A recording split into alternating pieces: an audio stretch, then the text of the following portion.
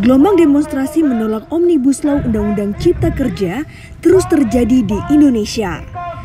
Giliran persaudaraan alumni 212 yang ikut menyuarakan keberatannya. Mereka menggelar aksi demonstrasi pada Selasa, 13 Oktober 2020 di depan kawasan Monumen Nasional Jakarta.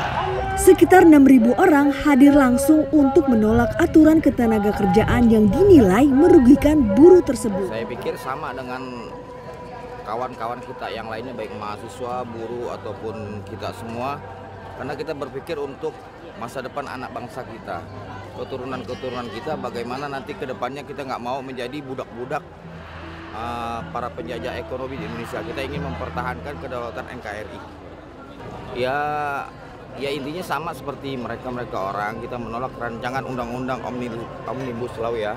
Karena memang kalau kita lihat dari media-media maupun elektronik maupun media sosial draft-draftnya sampai sekarang kan belum jelas. Bahkan DPR RI belum bisa membukakan draft-draft itu secara terbuka kepada publik. Itu aja. Kalau saya berpesan kepada pemerintah agar bijak. Bijak dalam menyikapi uh, permasalahan-permasalahan masyarakat. Dan kalau ingin membuat undang-undang pikirkan dahulu bagaimana undang-undang bisa menguntungkan untuk masyarakat, mensejahterakan masyarakat atau hanya keuntungan pribadi atau kepentingan pribadi itu aja. Lagi jangan terprovokasi, tetap fokus satu tujuan kita. Kita adalah untuk menasehati dan kita untuk meminta kepada pemerintah kita. Kita tidak mau jadi budak-budak baik asing maupun budak-budak pengusaha-pengusaha. Betul tidak? Jangan jual rakyat Indonesia yang jadi kehormatannya seharusnya rakyat Indonesia lebih dahulu diprioritaskan kesejahteraannya sebelum pekerja-pekerja asing. Betul atau tidak?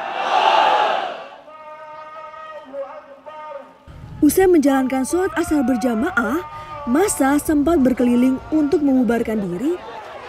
Tiba-tiba suasana memanas.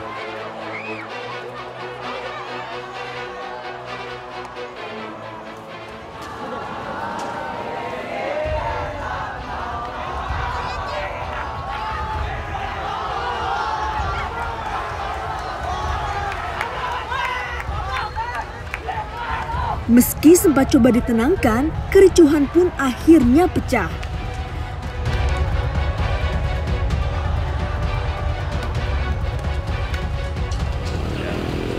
Jam 1 sampai jam 4 anak NKRI selesai.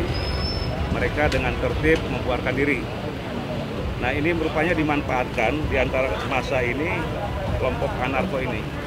Kemudian mereka langsung seolah-olah berganti gitu kan melempari petugas kami ya. Dalam hal ini petugas ini eh, TNI dan polisi. Kita bersikap humanis dan persuasif ya. Tidak ada bila perlu jangan juga terpancing gitu. Tetapi ketika dilempari terus ya akhirnya kita berupaya untuk mendorong mereka. Dan mereka semakin membawa buta melempari anggota kami. Nah kemudian kami, kami lakukan pendorongan tadi. Saya yakin bahwa memang demo eh, anak NKRI ini ditunggangi.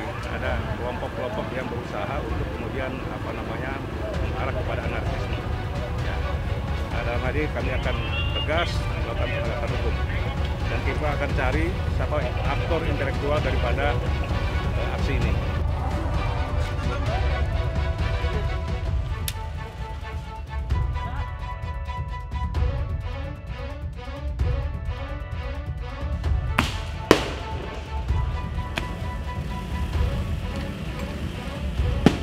Total 1.377 orang ditahan oleh polisi dalam kerusuhan kemarin. Sekitar 900 orang masih berstatus pelajar. Yang mengejutkan, ada lima anak sekolah dasar yang terjaring dalam kerusuhan tersebut. Berbagai barang bukti seperti ketapel, batu hingga golok berhasil diamankan petugas. Sungguh disayangkan, aksi demonstrasi untuk membawa perubahan baik malah disusupi oleh aksi vandal untuk kelompok tertentu.